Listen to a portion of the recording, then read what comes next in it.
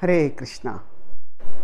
Even if people are not faultless, we can still find faults less.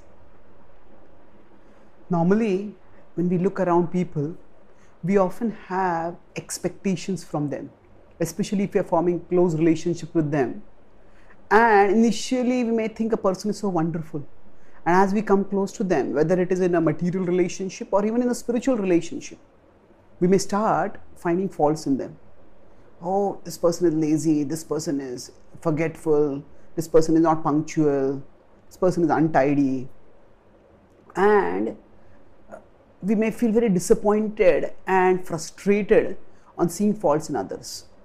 And in the hope of correcting them, we may start finding faults with them. We may start saying, Oh, don't do this, don't do this, don't do this and we may justify that actually they are not faultless. They have faults. That's why i'm finding faults. It's true they may have faults. At the same time everybody has faults. And the faults in others should not create a fault finding mentality within us. Because that will be a damage to us. A fault finding mentality will make us always see the negative and feel irritated and frustrated we need to make sure that our consciousness and our mentality stays positive. So, we need to find faults less. Just because somebody has a fault does not mean we have to find that fault with them. The Bhagavad Gita in the 16th chapter says that when it is describing the qualities of the godly people, abhayam sattva samshuddhir jnana yoga vyavasthiti danam damascha yagyascha swadhyayastapa this is 16.1, and Krishna goes on in the same sequence. Ahimsa satyam akrodhas tyagah shantirapaishunam taya bhuteshvalo luptvam mardavam rira chapalam. Use very laudable qualities such as peacefulness and mercifulness, uh, freedom from covetousness. And one such quality he says is aversion to fault finding. Apaishunam so sometimes we look forward to others doing mistakes and catching them.